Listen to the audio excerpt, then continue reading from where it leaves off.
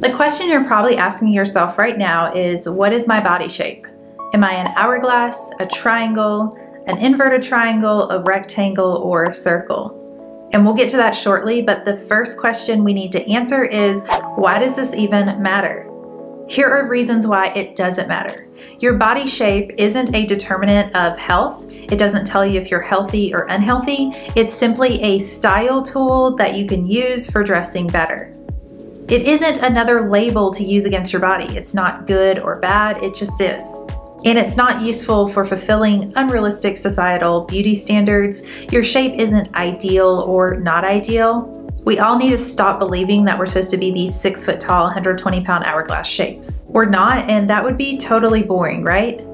Or as someone more clever than me once put it, how cool is it that the God who created the oceans and the mountains and the galaxies looked at you and thought the world needed one of you too? Okay, so why does body shape matter?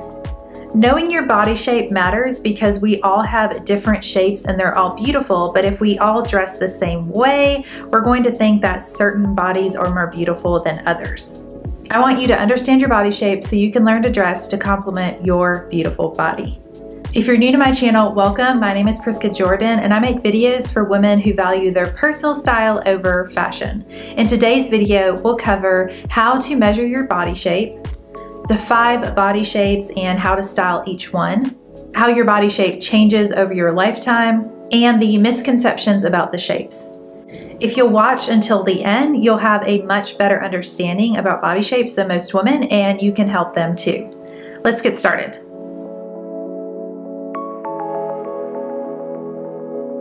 The first chapter, the one you've probably been waiting for, is how to measure your body. Now, I could make this into a five minute video on its own, but a year ago I produced a YouTube short that was 52 seconds long and it has all the information you need. So I'm going to show you that. And then you're going to need to measure your body using a fabric measuring tape. And lastly, you'll plug in your measurements into inchcalculator.com and voila, you'll know your body shape. Do you know your body type? Hourglass, pear, apple, triangle, rectangle. Well, just in case you don't, here's how to measure for it. First, you need a fabric measuring tape, and what we're going to do first is measure the shoulders, so put it at the very top of your shoulders, and that is your shoulder measurement. Secondly, your bust, so place it around the widest part of your breast without a bra on. Take a deep breath, and that is going to be your bust measurement. Thirdly, your waist, and that should be the smallest part of your torso. That's your measurement. And fourth, your hips. It should be the widest part around your butt, and that is your measurement. Take this information, go to inchcalculator.com, plug in your metrics, and that will tell you your body type. This is the time to pause the video to measure yourself. And we're back. So what is your body shape? Let me know down in the comments and while you're down there, please tap that like button if you're enjoying this video so far and subscribe to my channel to improve your style with me every week. Now I'm going to get into the nitty gritty details of body shape measurements. If you're just looking for how to style your body for your shape, then skip on ahead to chapter two. But if you're curious, let's talk about why there's so much confusion when it comes to body shape. You could go to any of the fashion capitals across the world, New York, Paris, London, Milan, and they would all have different ways of measuring, and each of the designers would have different ways of measuring. So the thing about measuring your body is that it's quite ambiguous because there are really three different methodologies. The first one includes your bust measurement, your waist, and your hips. The second one includes your bust measurement, your waist, your high hips, and your hips. And the third one, the one that I use, includes your shoulders, your bust, your waist, and your hips. So you can already see how these varying methods would produce different results, right? To further complicate things, there are multiple methods of measuring. So for some people, you measure the bust with a bra on and for some without. And with your bust measurement, do you take a deep breath in and out or do you not? I prefer to breathe under a garment, so I personally take a deep breath in and out. For your waist measurement, do you measure your natural waist, which is where you crease to your side when you bend? Or do you measure your standard waist, which is considered one inch above the navel, but doesn't take into account long torso versus short torso? And then what happens if you don't crease when you bend to the side? And the biggest question that I had is, is your shoulder measurement important? Because it does change the size for me, but for some people it doesn't. So you see, there's no agreed upon right way of doing it, and every designer, every brand, every seamstress or tailor has their own way of doing it, and oftentimes it varies in-house depending on what type of garment they're making. However, generally agreed upon, the three most important measurements are bust, waist, and hips. Then there are the limitations. The body shape methodology doesn't account for your height, whether you're tall or petite. It doesn't account for plus size. It doesn't account for long torso versus short torso. So there are limitations, but I find this system works really well for helping me to understand my body and dress better. Another layer of complication is that there are technically five body shapes, but I've seen up to 10 total. The ones we'll use for this video are hourglass, triangle, inverted triangle, rectangle, and circle. And lastly, you might not necessarily fit into one category. Everybody is unique, right? And just like with personality, some people are extroverted or introverted or ambiverts. And there are varying degrees of each one. We're all unique, so there won't be a perfect system. If this system helps you, then I'm really happy about that. But if it doesn't, then that's okay too. In chapter three, we'll get into how your body shape changes over your lifetime. But first, let's discuss the five body shapes and how to dress better for each one. Chapter 2, the five body shapes. Now there are generally considered five primary body shapes and that includes hourglass, triangle, inverted triangle, rectangle, and circle. Can you guess which one is the most common? Hold that answer and I will tell you when we get to it. The first shape we're going to talk about is hourglass. I have a confession, I've been cheating by using the term hourglass in my videos. The thing is, only 8% of women are hourglass shaped. But I use the term because most women want to look more hourglass shaped. Even this body shape methodology advises women to dress to balance their proportions, which is to say to dress more hourglass. So it's something that is a useful styling tool. While I do have an hourglass body shape currently, I make videos for women to flatter their curves, so whether you're truly an hourglass, you'll enjoy my videos. Now I need to cheat and use some notes because there's a lot of data in this video. The first thing I want to cover with the hourglass shape is what it is. An hourglass shape includes a clearly defined waist with balanced proportions of either the hips or the shoulders or bust depending on your school of thought. Technically speaking, the waist is 25% smaller than the other measurements. Famous examples of hourglass figures include Marilyn Monroe, who is arguably the quintessential hourglass shape, also, Christina Hendricks, who played the daring Joan Harris in Mad Men, which was one of my favorite TV shows, and the supermodel Ashley Graham. For each shape, I want to give you styling tips, including how to balance your proportions, which is to say look more hourglass, or how to emphasize the imbalance, which is a really cool way of styling things depending on your personal taste and maybe your mood for the day. To style an hourglass figure, you can wear fun necklines like sweetheart, v-neck, and scoop neck, and fitted sleeves. The most flattering dresses are wrap dresses, but anything cinched or belted is going to flatter your figure. To emphasize the high contrast in your waist and hips, wear high-waisted bottoms, especially if it's belted to add more emphasis. One of my subscribers requested this styling advice. She's an hourglass figure and she wants to know how to style summer outfits that aren't t-shirts. So I recommend tanks with wider straps paired with skirts, mid-thigh shorts, or white flared jeans. The next shape is triangle, which is sometimes called a pear shape in the fruit world or spoon. So famous examples include Beyonce, Eva Longoria, and Jennifer Lopez. Does that shock you? Because it shocked me. I would have considered these ladies to be hourglass figures. But then I realized that one, it depends on different stages of life when your body shape changes, and two, the way that they are being dressed. So internet experts that are assuming some things about their measurements say that they are triangle shaped, and while we can't exactly know without knowing their measurements, it's just widely agreed upon. So I'm gonna default to the experts. However, their bodies, like all bodies, change over time, so they might not always be triangle shaped.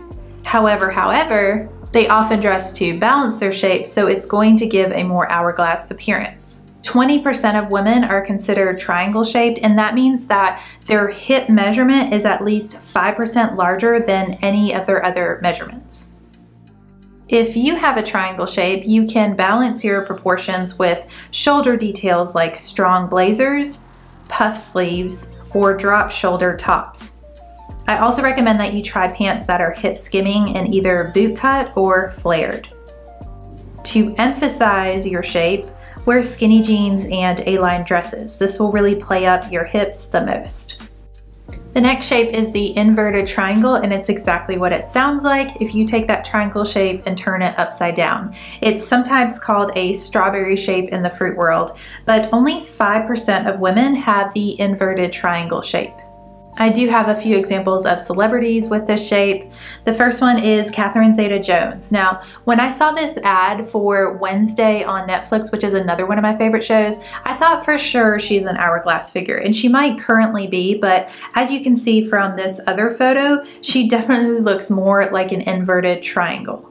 There's also Renee Zellweger and seven-time Olympic medalist Simone Biles.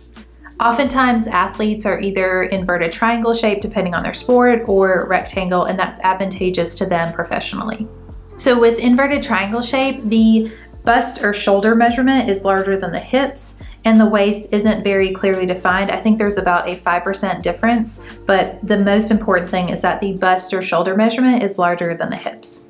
If you have an inverted triangle shape, you can balance your proportions by wearing fitted sleeves and wide leg pants or an A-line dress will help to balance your proportions. But to emphasize your shape, a tailored blazer with skinny jeans is going to look extra strong on you as we can see in this example with Cameron Diaz. The next shape is a rectangle and I've heard this called straight framed. I think sometimes I say narrow framed. Um, in the fruit world, it's a banana, which isn't oftenly talked about. But if you guess that this is the most common body shape for women, then you are right. It represents about 46% of women. Now, famous examples of rectangle shapes include Princess Diana, Kerry Washington, Taylor Swift, and Zendaya. So Zendaya's style is just one of my favorite. The way that her stylist creates more of an hourglass shape through curves and colors is just really brilliant. And it's such a good example of how you can use your shape and clothing to create the look that you're going for. So technically speaking, with rectangles, all of your measurements are close to equal. If you have a rectangle shape, you can balance your proportions by wearing a belt at your natural waist, which means that you really need to know the most flattering rise for your body, and I do have a video for that. Now the most flattering dress for you will be a fit and flare dress, but anything asymmetrical will also help to create some curvature to your body. To emphasize the straightness of this body shape, you can wear straight leg or wide leg pants, boxy or crop tops, and square necklines. Also, vertical stripes will exaggerate your shape. The final body shape we'll talk about is the circle, but you've probably heard this as an apple, so we're using more of a fruit term right now. And this is sometimes also called a round shape.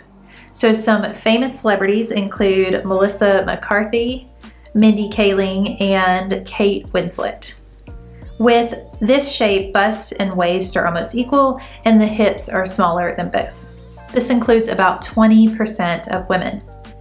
Now for styling tips, if you have an apple shape, you can balance your proportions with v-neck tops, empire waist dresses, and skirts that are knee length or above.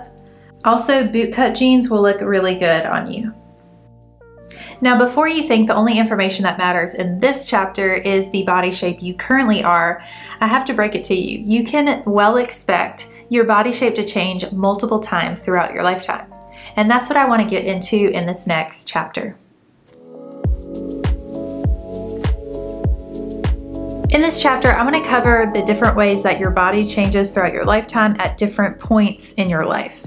But before we can get to that question, we have to understand what causes your initial body shape to be determined in the first place. And that is a combination of gender and genetics. You're predisposed to carrying fat in certain regions of your body.